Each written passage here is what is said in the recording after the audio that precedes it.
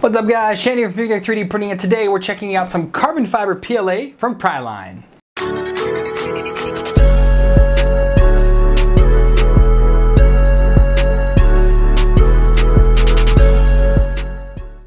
Welcome back guys. So you know I've done lots of videos on a lot of different Priline filaments and they've actually all turned out pretty good. And recently I reached out to them again and was like, hey I saw you had some newer products out there which is their carbon fiber. There's two different variants but today we're checking out the PLA variant of it. And the first thing we're going to notice is the box is very different than the old ones. The old ones were a just a brown box with a sticker that held it shut. That was it, very simple. But now they've got a full color box, white. It's a Priline 3D printer filament. Uh, they have all of their check marks on there for what it is. So now they're using one universal box for all the different ones. They just stamp on which one it is. So this is the carbon fiber PLA. Uh, they've got some other languages on the back. Um, they recommend to store the filament in a sealed plastic bag after uh, or box after using. Make sure to insert the free end of the filament into the hole to avoid filament being tangled together. Keep dry, keep away from heat, and fire prevention, some little things on there. Uh, so let's see how the spool is. All right, oh wow, there's definitely different. So uh, here they've got a full white sticker on the side. Before they just had this little bitty little uh, snippet on there. Didn't really tell you much at all. But now we have a full sticker here. So it's telling us it's 1.75 millimeter filament. Tolerance is 0.03, it's a kilogram. Uh, it's in several different languages right there, where to contact them. And here on the back, this is what all the other ones had. Carbon fiber, uh, temperature 190 210, base plate 30 to 50 C. It is in a non-reusable bag. Again, I'm trying to hope and pray that more companies will uh, get on that bandwagon. There is a desiccant pack shoved down in there. Make sure to go dry that one out, reuse that, gotta keep those. And here we have it. So uh, carbon fiber is gonna be a very matte uh, filament, has a very matte feel to it. Uh, the wind is a 8 out of 10, not too bad at all. They do have this little extra snippet where it actually starts at. I recommend that you break this part off. It comes out of this little hole in the side. Uh, get rid of that because that actually has gotten caught on another printer of mine. I think it was the FT5 it got caught on and ruined a print because it could not get past that. Uh, so I've been snipping that off of all of them just to get that done uh, out of the way.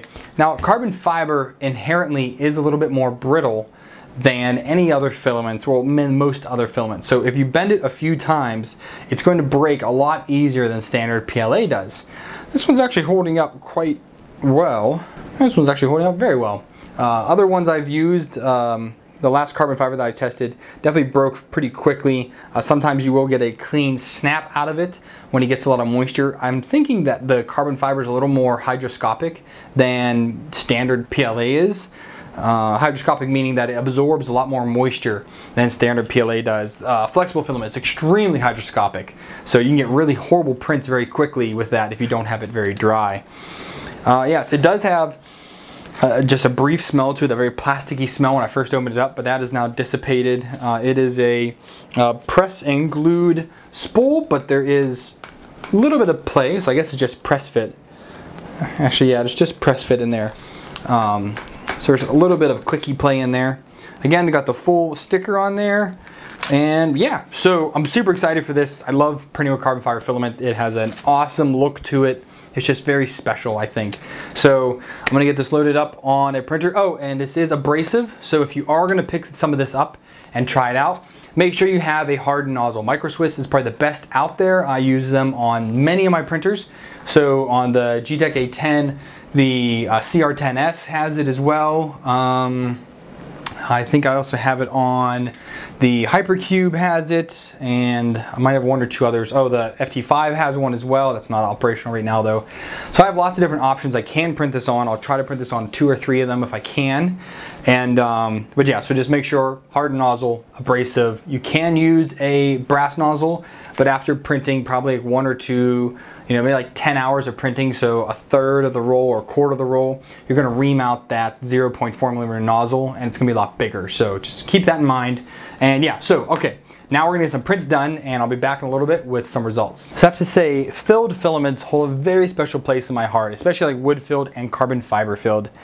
If you get your print settings dialed in, things can look amazing. You'll pretty much eliminate your layer lines just because of how they end up bleeding together with the, the, extra fibers in there. Don't particularly know all of the science behind it, I just know it looks great. So I have some pretty awesome things printed here. These were all printed on the CR10S because that has a PEI bed and it has a hardened nozzle from Micro Swiss. So carbon fiber filament is extremely abrasive. You really need to have a hardened steel nozzle for that. And by doing that, it's also not the best conductive conductor of heat. You will have to raise your temperatures just a bit. Uh, I've noticed up to five degrees is what I've had to raise for certain filaments. Uh, this one, I ended up printing it just at 205 where most PLAs I print at 200, 205 anyways, because I also print a little bit faster. But 205 seemed to be the sweet spot for this. I had almost zero stringing in any of this, which is really nice to see. And I did use glue stick on the PEI just to ensure that this would hold. I did have some very, very long prints. Uh, this mortar round was pretty long. I have uh, Robocop's 9 millimeter here, which is humongous. Like I can't even get my hand on. This is like a hand. This is a hand cannon for my dad. Like he's got those great big hands. But this turned out really, really good. Glue job, not so much, but we'll get there. And this is the piece that I'm going to talk about here first because this is the one that I had some problems with. But we need a closer look at them so you guys can actually see. All right, so this is like just this like head sculpture I randomly found and they had it was only a render and they just had it with their like headphones sitting on it which it looked really cool but again it was a render and no one had done a print of it yet so I figured I will have a go at it. It turned out okay. I did not use support but I ended up having some issues in the filament and I don't know why. So number one obviously you can see lots of uh, retractions in there I definitely did not have the retractions fully dialed in for this print and I'm kind of sorry I, I didn't really do that properly. But if you look close, you definitely can see layer lines. Come on, you definitely can see some layer lines in there, but more so are these cracks. So again, this was printed at 205 degrees, and I actually think that was a little too low on this print. I don't know why, because the rest turned out just fine, but for this one, just because the sheer mass of it, I mean, as you can see, it's, it's a fairly good sized print it just it cracked on me here and that was very odd of PLA maybe because there's the carbon fiber in there and a few of these were a little over extruded so there definitely was some uh, irregularities going on during this print. I didn't use support and it did okay. These are some pretty steep overhangs. I actually had to actually sink this down into the Z plate some just to get this nice and flat and give me a larger surface because in the beginning these two surfaces was tiny, absolutely tiny to where they touch the bed. So I need to sink it in, give myself a good surface to start with, and then go from there. But if I cut it off even more so, I could get rid of all of this overhang and it probably would turn out better. And this part here competes completely in the air almost. So a smidgen of support might have done okay there. I just didn't want to waste the filaments. But I just kind of wanted to give this a shot as it was a kind of cool looking print. All right, now to show you my standard print that I print again with every filament is my Fugatech maker coin that I created. And this is a beautiful print. It honestly is. There's not much retractions going on in there. I didn't have any under extrusions go on anywhere. And then if you look here where the supports were, looks gorgeous. There is still a little bit of this residue on here. That's from the glue stick. I did not wash this one off. I did wash this one. I did not wash this one yet, but that's okay either way, yeah, I mean, this really looks like a nice print. I'm very, very happy with how this came out. Kind of a detailed print. Uh, this is the Father's Day statue that somebody made. I really do like this one. I had one issue of under extrusion right through there. I don't know why, but it did. Other than that, there's no cleanup on this or anything like that. It just, it turned out really, really nice. You can see there's no stringing it just and I really like this print. Uh, it's an awesome Father's Day print. I think I'm gonna print a bunch of these uh, for some folks whenever they become new fathers. I think that'll be kind of fun for them. But yeah I do really like this print and the carbon fiber just looks so much cooler. So here's the CT3D uh, floatable benchy boat. And it's actually I didn't realize recently this was modeled off of a toy that we found on Amazon and I, I thought they just made this up. No, they actually copied this from a toy on Amazon, which is pretty cool to see. Again, glue stick on the bottom. You can see some retractions there. I probably should have made it a little bit faster to get rid of those. But it, it turned out to be a really nice print. I did do one vase. Uh, I, meant, I, meant, to do two, but I just uh, kind of forgot. And again, printed on that PI with glue stick. It turned out really nice. It's really rough. I don't know if you can actually hear my hand on there. I mean, how rough it actually is.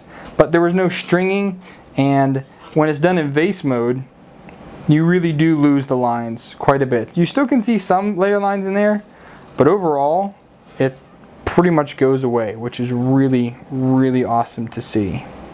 This is the mortar round that I had shown earlier, and this prints in three parts. So it's this bottom piece and this nose cone. The nose cone, um, I wanted to, I tried getting in there. I think I got it in, oh, there it comes out now a little bit. Uh, I've never gotten this nose cone to go all the way in. I think I just need to clean up inside here a little bit. See, there's no supports, but there, there is some stringing, some fall down in that. Uh, this prints up like this on the build plate, and it just screws in the top. But yeah, I've never got the nose cone to go all the way in. This is a little bit uh, easier to put most of the way in, but I think with just some cleanup, it'll do better. But yeah, it uh, turned out really nice. Again, you can see the retractions in this quite a bit, but overall it's a good print. All right, and finally, here is the Robocop gun.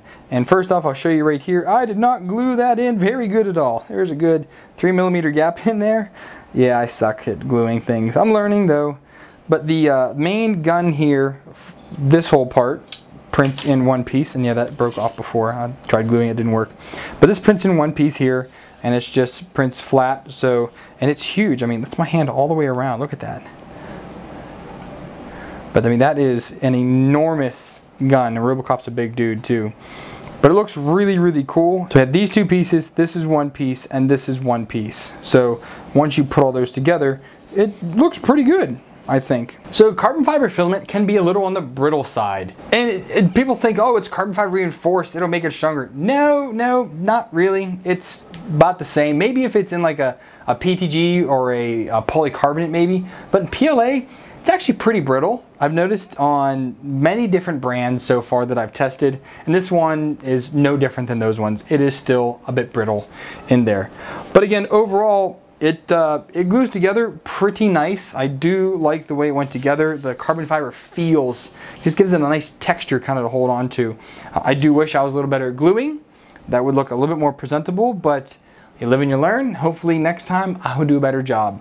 So there is that. Overall, I enjoyed this filament. Uh, it's definitely not a, a premium carbon fiber filament that you get from some other companies like Protopasta, for example. Uh, their carbon fiber is pretty spot on.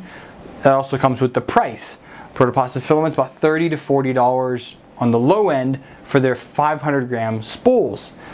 Uh, this is definitely not so much. This is almost half the price of that. So keep that in mind. You kind of get what you pay for with most filaments.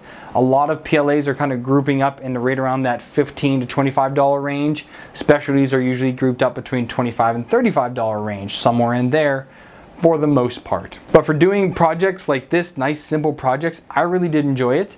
I did have some issues printing this on the Geeetech uh, A10. I don't know why. For some reason, the, the Slic3r Prusa edition did not agree with some of the settings I was putting in there and it just kept jamming in that printer. It actually, it wasn't jamming, it was having a problem with, uh, I guess how tight the spring is. It was just chewing through the filaments. And I tried printing hotter to make it a little bit easier, but I just had tons of problems on that printer. But when I put it on the CR10S, it printed like butter. It, it, so, I mean, like every filament is a little bit different. So just keep in mind, do some testing before you start rolling out with gigantic prints. I probably should test a little bit more before I did this one, but you know, YOLO. Uh, it does show you the differences when something is tuned and when it's not so tuned. So have that be what it is. So this filament was provided to me by Priline free of charge for the purposes of review. No money was exchanged and I was not paid for my opinion. This is my opinion straight up on how this prints. So I hope you guys learned a little bit more about printing with a carbon fiber enforced PLA. If you did learn something, please give it a thumbs up, or if you just enjoyed the video and you love my lovely shaved face, hit that like button. If you didn't, thumbs down, talk in the comments down below. Love to hear from you guys about this product. If you guys want to stay in tune what's going on, hit that big old subscribe button and hit the bell icon to get you notification when I upload new content. If you want to support me financially, right down below me is a Patreon link. Dollar more gets you access to my Patreon feed and my after show. And if you want to donate some other ways, there's one-time links and some affiliate links and some uh, coupon codes down there. That's what it is. And that way you guys save some money and a little slice what you buy comes here to help me at the channel. So thanks for tuning in guys. Until next time, happy printing.